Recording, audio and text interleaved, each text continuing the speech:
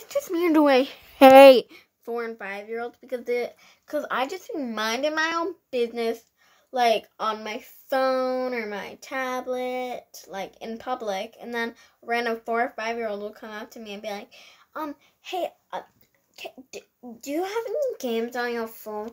My mommy won't let me use her phone, and I'm like, um, oh, sorry, no, I don't have any games, and then like, oh, uh, well, do you have YouTube?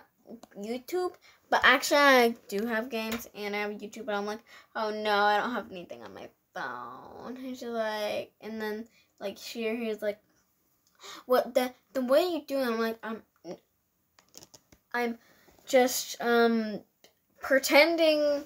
I'm like, oh, I'm just pretending to text because uh, I don't have anything on my phone. and they're like, oh, well, that's cool. And I'm like, in my head, I'm like, how is that cool? Is it just me or, look, tell me, is it just me, me who hates four or five year olds, or is it like everyone?